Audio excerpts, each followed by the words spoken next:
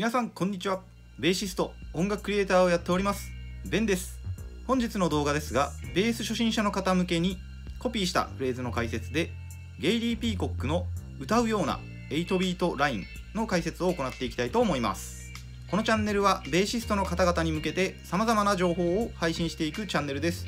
動画を作るモチベーションにもなりますのでぜひ高評価やチャンネル登録の方よろしくお願いいたします。はい。ということで今回もですねコピーしたフレーズの解説をやっていこうかと思うんですけど今回はですねモダンジャズでよく使われるビートなんですけど Even 8th というジャズのですね8ビートのベースラインこちらの解説を行っていきたいと思います。こちらのビートはですねまああんまり聞き慣れない方もいるかもしれないんですけど Even 8th とかですね Even 8とか言われたりするんですけどジャズのミュージシャンが用いることが多い8ビートのフィーリングで一定のパターンをですね繰り返すことなく演奏される8ビートのことですね。で even っていう風にですねついていることからまあ分かるように8分音符をですねあのスイングビートのように跳ねさせたりせずに演奏していくビートのことになります。詳しいですねビートの考え方とか弾き方なんかは、まあ、要望があればですね今後動画で撮っていこうかなと思うんですけど今日はですね、まあ、フレーズの解説コピーしたフレーズを解説して、まあ、参考にしていただければなというふうに思っております。それでは解説に入っていく前に今回紹介していくベーシストゲイリー・ピーコックですね。彼のですねちょっと人物紹介を簡単にしてみたいと思います。ゲイリー・ピーコックは1930年代アイダホ州の出身です。そして、まあ、学生時代ですねトランペットとかピアノとかドラムとか、まあ、ベース以外の楽器を結構プレイしてたみたいなんですけど彼はあの兵役に就いた経験がありましてその兵役に就いた、えー、軍隊のですねジャズバンドで、えー、ベースをあのやることになってそこからベーシストに転向していきます。そして1960年代ですね。ニューヨークに移住してさまざまなあのジャズジャイアンツと呼ばれているような人たちと演奏してキャリアを積んでいきます。そして彼の経歴でちょっと変わってるところが1960年代の後半に、ご自身のですね、まあ、こう生活習慣とかいろいろ思うところがあったんでしょうけど活動をですね一旦休止して東洋文化だったり、まあ、禅とかですねあと医学とか自然食の研究をやってるらしいんですね。でその間ですねあの日本にも来られてて2年から3年の間ぐらいなんか滞在してたらしいです。で日本に住んでる間に、まあ、日本のジャズミュージシャンとかもですね音源を残したりとかっていうこともやってますね。そして1970年代の後半からですねキース・ジャレットピアニストですねとあとドラマーのジャック・ディジョネットとトリオを組んであの有名なスタンダードトリオっていうやつですね。これをですね長年にわたって活動しているといったような感じです。でベースの特徴としてはスタンダードからフリージャズまで何でもやるベーシストでですねベーシックなラインをですね維持しつつもこうインタープレイの要素を取り入れたようなベースプレイが特徴というふうになっております。ではゲイリー・ピーコックの人物紹介が終わったところで今回の参考曲を紹介していきたいと思います。参考曲がこちらになります。今回の曲は「ソーテンダー」というキース・ジャレットのオリジナル曲になります。そしてですねアルバムがタンダーズボリューム2という、まあ、非常にですねこちら名盤とされているあの有名なアルバムでボリューム1ボリューム2があるんですけどこのボリューム2の方にえー収録されている曲になります。こちらの曲はですねいわゆるジャズスタンダードというふうに呼ばれることはないかもしれないんですけどあの非常に人気の高い曲ででセッション行ったりですねあとライブなんかで取り上げて演奏する方も非常に多いですね。それではフレーズの解説をやっていく前に私のデモ演奏を聴いてもらおうかなと思います。今回はですねこの曲のどの部分を解説するかというとこの曲はですねテーマが前テーマが2回演奏されるんですけど最初のテーマは結構ルバート気味に演奏されていてで2回目のテーマが、えリズムありで演奏されるんですけどそのリズムありの方のテーマのベースラインですね。こちらの方を解説していこうかなというふうに思います。それではデモ演奏の方を聴いてみてください。このような感じになります。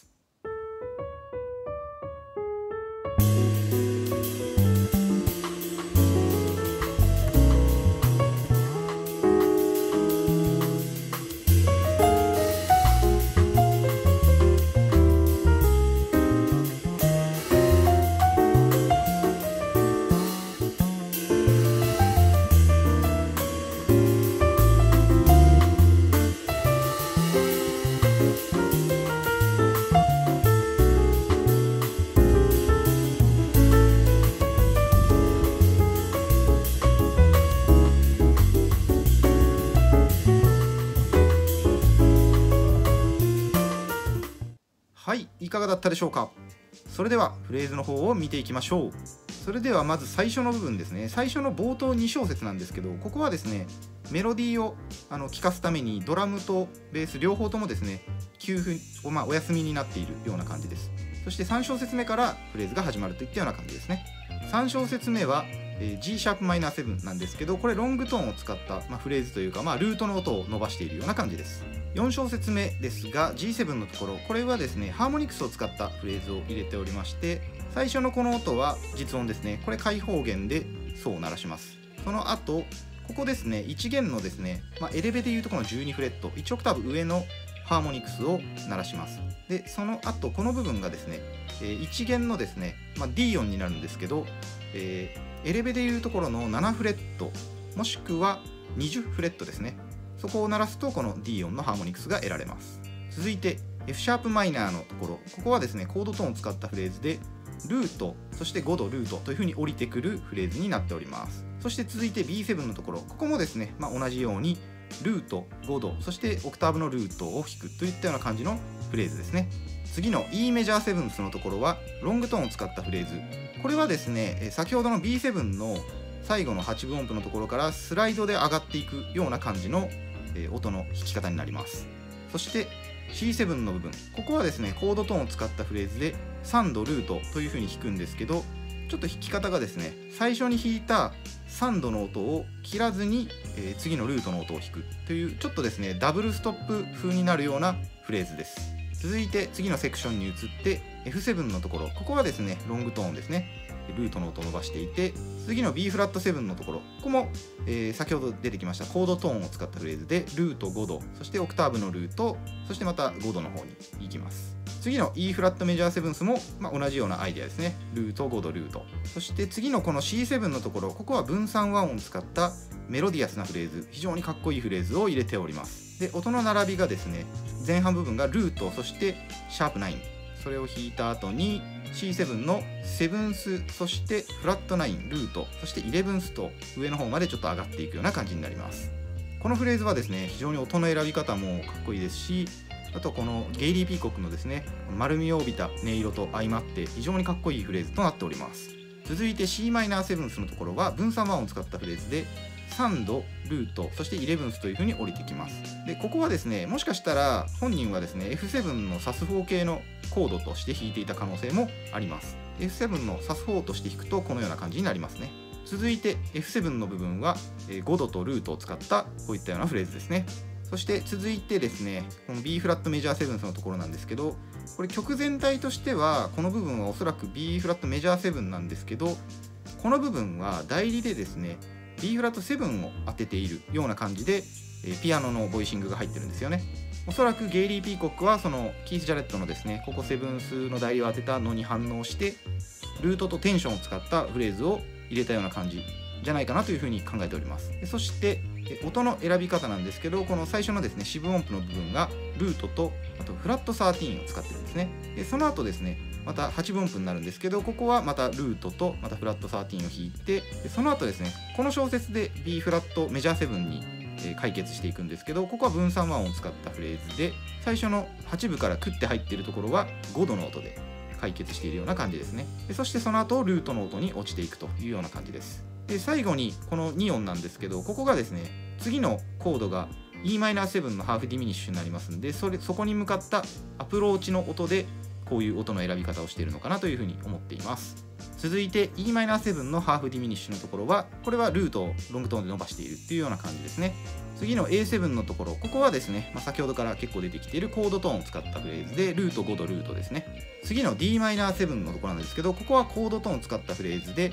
まあ、ルート3度5度トライアドで弾いてるような感じですね最初のですね3度の音に行く時には、えこれハンマリングかスライドか使ってこうニュアンスをつけています続いて Dm7 のオン C のところここはですねマイナースケールを使ったメロディアスなフレーズをまた入れてます最初の部分がセブンスルートそしてナインスという風に動いてその後ですねえー、サードでナインス、セブンスという風に降りてくる。まあ非常にですね、メロディアスで非常にかっこいいフレーズですね、ここも。次のこの部分の4小節ですけど、ここは全体的にですね、シンプルなフレーズの構成になっております。まずは B フラットマイナーのところが、これルートですね。2分音符で伸ばしていて、次の E フラットセブンスのところは分散和音のフレーズ。最初ナインスを8部で入れてそれからルートに戻るというようなフレーズです。そして Am7 のところはルートと5度。そして D7 のところはルート5度。Bm7 のところもルート5度ルートで5度ですね。そして B フラットセブンスのところ。ここがですね、えー、次のセクションに移るところなので少しですね分散和音にしてテンションノートが入ってます。ルート5度そしてナインスを使ってますね。それからルートに戻るといったような流れのフレーズです。それでは最後のセクションですね。まず最初の A の6のところですね。ここをロングトーンで伸ばしていて続いて、えー、この部分ですね。次の小節へのアプローチノートなんですけどメジャーセブンスノートを使ってます。でこのようにですね A の6だったり、まあ、A の単純なメジャーコードだったりする場合でもあのフレーズはですねあのメジャースケールのフレーズとかあとリディアンスケールっていうのが対応ができますのでメジャーセブンスの音をこういうふうにですねフレーズの一部として組み込んでいくっていうのは非常にありなんですね。次の F シャープマイナーセブンスのところですけどここはコードトーンを使ったフレーズルート5度ルートですね。そして、え b マイナーセブンスのところコードトーンですね。これルートルート。そして E7 のところはルート5度次の C シャープマイナーセブンスのところもルート。そして F シャープセブンスのところもルートというふうになっておりますね。それでは最後の4小節 b マイナーセブンスのところはコードトーンを使ったフレーズで、えー、ルートを最初2分音符で伸ばしてその後四分音符のルート5度そしてセブンスという風に動くフレーズですね。そして最後の手前25のところですね。B マイナー7と E7 のところ。これもコードトーンを使ってまして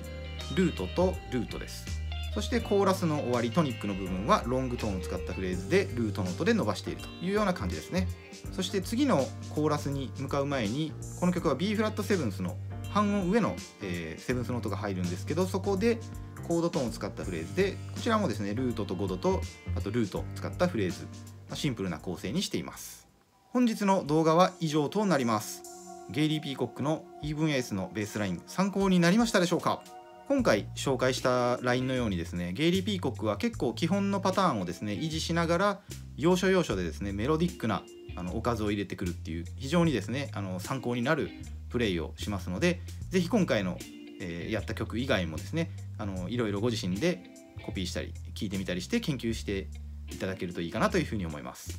そしてですね、まあ、分かりにくいところとか、えー、まあ、質問などありましたらまたコメント欄の方にコメントを書き込んでいただければなというふうに思います。そして今回紹介した EVS のリズムパターンとかですね、まあ、分からないとことか、まあ、他のことでもより深い内容とかですね勉強されたいなと思った方は概要欄の方にリンクを貼っておきますので私のベースレッスンの受講もご検討ください。それでは最後までご視聴いただきありがとうございました。また次の動画でお会いしましょう。